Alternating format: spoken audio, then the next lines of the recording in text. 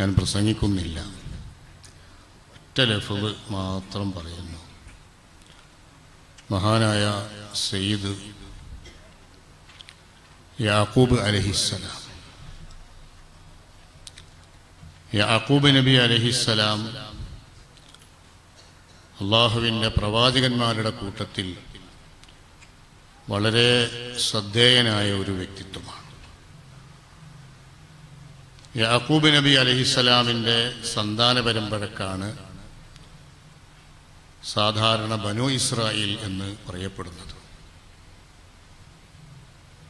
ആ ബനു ഇസ്രായേലിൽ ധാരാളം നബിമാരെ പ്രവാചകന്മാരെ നമുക്ക് കാണാൻ കഴിയും. യാക്കൂബ് നബി അലൈഹി ഇസ്ലാമിന്റെ നേരെ മകനായ യൂസുഫ് നബി അലൈഹി ഇസ്ലാം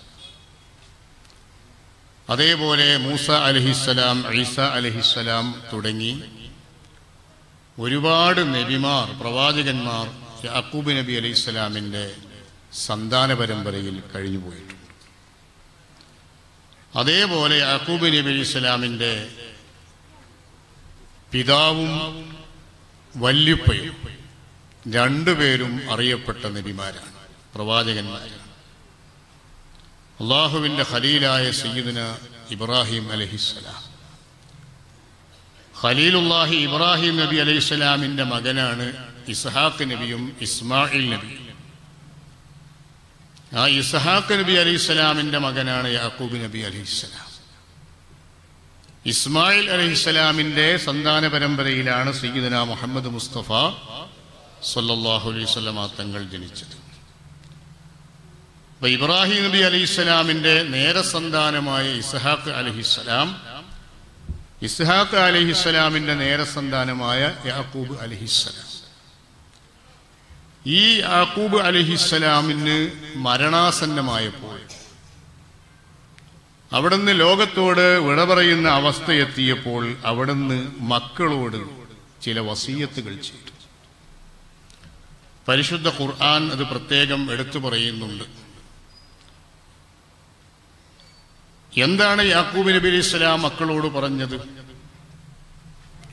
ഖുർആൻ നമ്മെ ഓർമ്മപ്പെടുത്തുന്നു അം കുന്തും ശുഹദാ ഇത് ഹലറ യാക്കൂബൽ മൗത്തു إذ قال لبنيه ما تعبدون من بعدي قالوا نعبد إلهك وإله آبائك إبراهيم وإسماعيل وإسحاق إلها واحدا ونحن له مسلمون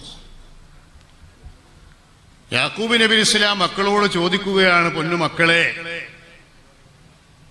എന്റെ വഫാത്തിന് ശേഷം നിങ്ങൾ ആരെയാണ് എന്തിനെയാണ് ആരാധിക്കുക? മാ ബഅദി. എന്റെ ശേഷം നിങ്ങൾ ആർക്കാണ് ഇബാദത്ത് ചെയ്യുക? എന്തിനെയാണ് ആരാധിക്കുക? അള്ളാഹു ചോദിക്കുന്നു അം കുന്തും ഇത് ഹലറ യാക്കൂബൽ മൗത്തു?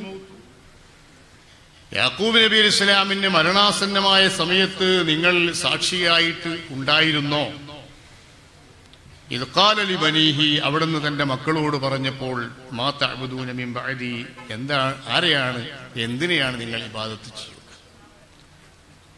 എന്തിനാണ് യാക്കൂബ് നബി അലി ഇസ്ലാം തന്റെ മക്കളോട് ഇത് ചോദിക്കുന്നത്? യാക്കൂബ് നബി അലൈഹിസ്സലാമിന്റെ മക്കൾ പിഴച്ചു പോകൂല.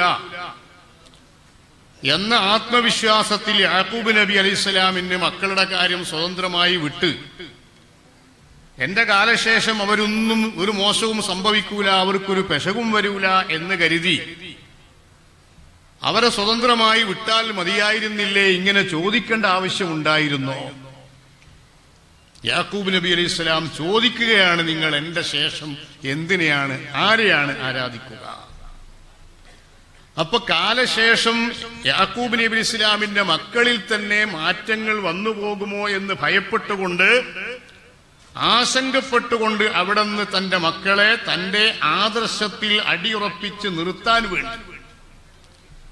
തന്റെ മക്കളിൽ നിന്ന് ആപ്പ നിങ്ങളുടെ ആദർശത്തിൽ തന്നെ ഞങ്ങൾ ഉറച്ചു നിൽക്കുമെന്ന ആ വാക്ക് കേൾക്കുന്നതിന് വേണ്ടി.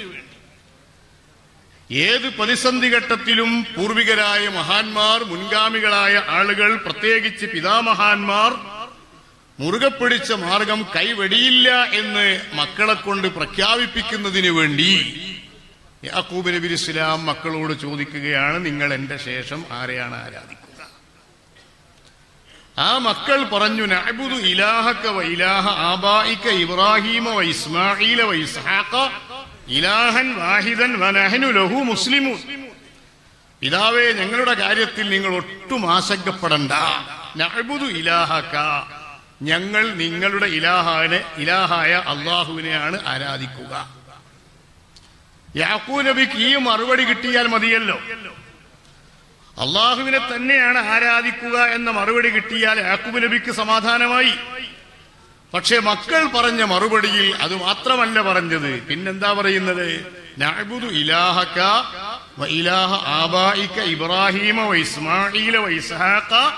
ഇലാഹൻ വാഹിദൻ ലഹു മുസ്ലിമൂൻ. ബാപ്പാ നിങ്ങളുടെ ഇലാഹായ അള്ളാഹുവിനെ മാത്രമല്ല. അല്ലെങ്കിൽ ആ അള്ളാഹു നിങ്ങളുടെ മാത്രം ഇലാഹല്ല. പിന്നെ ആരുടെ കൂടി ഇലാഹാണ്? ആരുടെ കൂടി ഇലാഹാണ് നിങ്ങളുടെ പിതാക്കന്മാരായ ഇസ്ഹാഖ് നബിയുടെയും ഇബ്രാഹിം നബിയുടെയും ഇസ്മായിൽ നബിയുടെയും? ഇസ്മായിൽ അലൈഹി ഇസ്ലാം യാക്കൂബ് നബി ഇസ്ലാമിനെ സംബന്ധിച്ചിടത്തോളം പൃഥിവ്യരാണ് ആ പൃഥ്വിരെയും കൂടി ഉൾക്കൊള്ളിച്ചുകൊണ്ട് പറയുന്നു അവരൊക്കെ അവരൊക്കെ ആരാധിച്ച ഏകനായ അള്ളാഹുവിനെ മാത്രമേ ഞങ്ങൾ ആരാധിക്കുകയുള്ളൂ. ഞങ്ങൾക്ക് ഒരു ചാഞ്ചല്യവും വരികയില്ല ഒരു മാറ്റവും വരികയില്ല. വനഹനു ലഹു മുസ്ലിമോൻ. ഞങ്ങൾ പൂർണമായും അള്ളാഹുവിന് വഴിപ്പെടുന്ന മുസ്ലിമീങ്ങളായിട്ട് തന്നെ ഉണ്ടാകും എന്ന് മക്കൾ പറയുകയാണ്. ഈ സന്ദർഭത്തിൽ ഈ വാക്കുകൾ കേൾക്കാൻ നിങ്ങൾ ഹാജറുണ്ടായിരുന്നോ എന്നാണ് അള്ളാഹു ചോദിക്കുന്നത്. ഞാൻ ഈ ആയത്ത് എന്തിനാ ഉദ്ധരിച്ചത്? ഇത് സയ്യിദന്മാരുടെ ഉറൂസാണ്. സയ്യിദന്മാരെ സംബന്ധിച്ചിടത്തോളം അവർ സാധാരണക്കാരല്ലല്ലോ.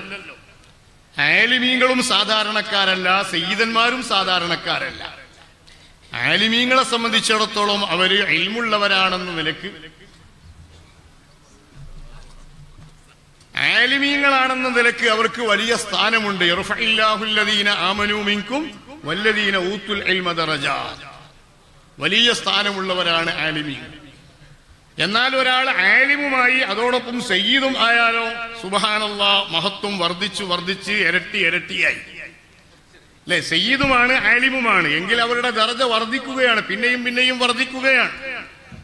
ഇനി ആലിമായില്ല വെറും സയ്യിദ് മാത്രമാണ്. എന്നാലോ എന്നാലും അലഹമില്ല ഹബീബായ മുഹമ്മദ് അലൈഹി വസല്ലമ തങ്ങളുടെ പരമ്പരയിൽ ആ കുടുംബത്തിലെ കണ്ണി എന്ന നിലയ്ക്ക് മറ്റേത് സാധാരണക്കാരെക്കാളും അതല്ലെങ്കിൽ സാധാരണക്കാരിൽപ്പെട്ട അലിമീങ്ങളെക്കാളും ഒക്കെയുള്ള ബഹുമാനം സയ്യദന്മാർക്കുണ്ടാവും. സാധാരണക്കാരിൽപ്പെട്ട അലിമീങ്ങളെക്കാളും വലിയ ബഹുമാനം ഒരു ചെറിയ സയ്യിദിനുണ്ടാവും. അതുകൊണ്ടാണ് വലിയ വലിയ അലിമീങ്ങൾ ചെറിയ സയ്യിദന്മാരെ ബഹുമാനിക്കുന്നത് നമ്മൾ കാണുന്നത്. അപ്പൊ സയ്യിദന്മാർക്ക് വലിയ ബഹുമാനമുണ്ട് ആലിമീങ്ങൾക്കും വലിയ ബഹുമാനമുണ്ട്. ഒരർത്ഥത്തിൽ പറഞ്ഞാൽ സയ്യിദന്മാരും ആലിമീങ്ങളും റസൂലുള്ളാഹി സ്വല്ലാസ്മ തങ്ങളുടെ രണ്ട് നിലക്കുള്ള സന്താനങ്ങളാണ്. ഒന്ന് അലൈഹി വസല്ലമ തങ്ങളുടെ ജിസ്മാനിയായ അഥവാ ജസദിയായ നിലയിലുള്ള സന്താനങ്ങളാണെങ്കിൽ മറ്റൊന്ന് റൂഹാനിയായ നിലയിലുള്ള സന്താനങ്ങളാണ്. രണ്ടും റസൂലുള്ളാന്റെ സന്തതികളെ കൂട്ടത്തിൽ വരും. അഥവാ ഒന്ന് ജസദിയാണ് അഥവാ ജിസ്മാനിയാണ് മറ്റൊന്ന് റൂഹാനിയാണ് എന്ന് മാത്രം ആ നിലയിൽ രണ്ട് വിഭാഗത്തിനും ശ്രേഷ്ഠതയും മഹത്വവും എല്ലാം ഉണ്ട്. അത് ഇങ്ങോട്ടും എല്ലാവരും പരസ്പരം എന്ത് ചെയ്യണം അറിയുകയും പരസ്പരം അത് വകവെച്ച് അങ്ങോട്ടും ഇങ്ങോട്ടും അത് വകവെച്ചുകൊണ്ട് തന്നെ നിലനിൽക്കുകയും വേണം. ഞാൻ അതിലേക്ക് കൂടുതൽ കടക്കുന്നില്ല. പക്ഷെ ഈ ആലിമീങ്ങളായാലും സഹിതന്മാരായാലും അവർ സമൂഹത്തിന്റെ മുമ്പിൽ മാതൃകകളാവേണ്ടവരാണ്. സമൂഹം അവരെ നോക്കിയിട്ടാണ് ജീവിക്കുക. അവരെയാണ് മാതൃകയാക്കുക. അതുകൊണ്ട് തന്നെ അവരെന്ത് ചെയ്യണം? മറ്റുള്ളവർ ഞങ്ങളെ മാതൃകയാക്കുന്നവരാണെന്ന നിലയിൽ ഒക്കതാലിക്ക ജഹല്ലാക്കും ഉമ്മത്തൻ വസത്തൻ എന്ന നിലയിൽ ഞങ്ങൾ മാതൃകയായി നിൽക്കേണ്ടവരാണെന്ന നിലക്കുള്ള ജീവിതം രണ്ട് വിഭാഗത്തിൽ നിന്നും ഉണ്ടായെങ്കിലേ സമുദായത്തിന് മാർഗദർശനം ചെയ്യാൻ സാധിക്കുകയുള്ളൂ. അതുകൊണ്ടാണ് യാക്കൂബ് നബി ഇസ്ലാം മക്കളുടെ കാര്യത്തിൽ നിങ്ങൾ എന്റെ ആദർശത്തിൽ തന്നെ ഉറച്ചു നിൽക്കൂലേ? എന്റെ ശേഷം നിങ്ങൾ മാറിപ്പോകൂലല്ലോ വഴിമാറിപ്പോകൂലല്ലോ എന്നുള്ള നിലയിൽ ചോദിക്കുന്നത് മാതാബുദൂനമിമ്പതി അഥവാ അലൈഹി വസല്ലമ തങ്ങൾക്കൊരു ആദർശമുണ്ട് ആ ആദർശത്തിന്റെ കൂടെ തന്നെ നിൽക്കണം ആര്? റസൂലുള്ളാന്റെ രണ്ട് നിലക്കുള്ള ദുരീയത്വം അഥവാ ജസദിയായതും റൂഹാനിയായതുമായ രണ്ട് ദുരീയത്തുകളും റസൂലുള്ളാന്റെ അതേ ആദർശത്തിൽ നിൽക്കണം. മുനാഫിത്തീങ്ങൾ ഒരു പള്ളി ഉണ്ടാക്കി. അല്ലെ? മുനാഫിത്തീങ്ങൾ ഒരു പള്ളി ഉണ്ടാക്കി. മസ്ജിദുൽ നിറാറ് എന്നാണ് അതിന് ഖുർആൻ പേരിട്ടിരിക്കുന്നത്. ആ പള്ളി ഉദ്ഘാടനത്തിന് ആരെ ക്ഷണിച്ചു? മുഹമ്മദ് നബി സല്ലാഹു അലൈഹി തങ്ങളെ ക്ഷണിച്ചു. റസൂലുള്ളാഹി തങ്ങൾ വന്നത് ഉദ്ഘാടനം ചെയ്ത് തരണമെന്ന് അവർ ആവശ്യപ്പെട്ടു നബിതങ്ങൾ ഉദ്ഘാടനം ചെയ്താൽ അവർക്ക് രക്ഷയായി. കാരണം നബിതങ്ങൾ ഉദ്ഘാടനം ചെയ്തതല്ലേ എന്നുള്ള നിലയ്ക്ക് എല്ലാവരും അങ്ങ് പോയിക്കോളും പള്ളിയിലേക്ക്. അങ്ങനെ ആയപ്പോൾ റസൂലുള്ളാഹി സല്ലാസ്മ തങ്ങളോട് അള്ളാഹു സുബാനുഭവത്താല പറയുന്നു ലാ തഖും ഫീഹി അബദ. നബിയെ മുനാഫിക്കീങ്ങൾ ഉണ്ടാക്കിയ പള്ളിയിലേക്ക് നിങ്ങൾ പോകാൻ പാടില്ല. മുനാഫിക്കീങ്ങൾ ഉണ്ടാക്കിയ പള്ളി നിറാറിന്റെ പള്ളിയാണ് അത് മുസ്ലിമീങ്ങളെ ഭിന്നിപ്പിക്കാൻ ഉണ്ടാക്കിയ പള്ളിയാണ് മുസ്ലിമീങ്ങൾക്ക് നാശമുണ്ടാക്കാൻ വേണ്ടി മാത്രം ഉണ്ടാക്കിയ പള്ളിയാണ്. അത് മുസ്ലിമീങ്ങളുടെ പള്ളിയല്ല മുനാഫിക്കീങ്ങളുടെ പള്ളിയാണ് അതുകൊണ്ട് ലാ തക്കും ഫീഹി അബദ. ഒരിക്കലും നിങ്ങൾ അവിടെ നിസ്കരിക്കാൻ പോകാൻ പാടില്ല ഉദ്ഘാടനത്തിനും പോകാൻ പാടില്ല അല്ലാത്തപ്പോഴും പോകാൻ പാടില്ല ഒരിക്കലും കയറാൻ പാടില്ല. ലാ തക്കും ഫീഹി അബദ. അപ്പൊ റസൂലുള്ളാഹി സല്ലല്ലാഹു അലൈഹി വസല്ലമ തങ്ങൾ അള്ളാഹുവിന്റെ കൽപ്പന അനുസരിച്ച് പോകാൻ പാടില്ല എന്ന് പറഞ്ഞാൽ പിന്നെ അല്ല പോകാൻ പാടില്ല പറഞ്ഞാൽ പിന്നെ റസൂല്ല പോവോ? അല്ല പോകാൻ പാടില്ല എന്ന് പറഞ്ഞാൽ റസൂലുള്ള പോകില്ലല്ലോ റസൂലുള്ളാഹി വസല്ലമ തങ്ങൾ അതിന്റെ ഉദ്ഘാടനത്തിന് പോയില്ല. അതോടുകൂടി മുനാഫിക്കങ്ങളുടെ പദ്ധതി പൊളിഞ്ഞു ലക്ഷ്യം പാളി. ഞാനിത് പറയുന്നത് എന്തിനാന്ന് ചോദിച്ചാൽ ഇവിടെ വിദേഹത്തുകാരായ ആളുകൾ ഒരു പള്ളി ഉണ്ടാക്കുകയോ മദ്രസ ഉണ്ടാക്കുകയോ സ്ഥാപനം ഉണ്ടാക്കുകയോ ചെയ്തിട്ട് അല്ലെങ്കിൽ ഒരു സമ്മേളനം സംഘടിപ്പിച്ചിട്ട് അതിലേക്ക് റസൂലുള്ളാരെ പേരക്കുട്ടികളെ വിളിച്ചാൽ എന്ത് നിലപാട് സ്വീകരിക്കണം? എന്ത് നിലപാട് സ്വീകരിക്കണം? ഈ സദസ്സ് പറയട്ടെ എന്ത് നിലപാട് സ്വീകരിക്കണം? റസൂലുള്ളാഹി സ്വല്ലല്ലാഹു അലൈഹി തങ്ങളുടെ പേരക്കുട്ടികളായ ഈ സയ്യിദന്മാരെ ആരെങ്കിലും വിദേഹത്തുകാർ ഒരു പരിപാടിക്ക് വിളിച്ചാൽ എന്ത് നിലപാട് സ്വീകരിക്കണം? ഖുർആൻ എന്താ പറഞ്ഞത്? ലാ തഖും ഫീഹി അബദ. അവിടെ പോകാനേ പാടില്ല.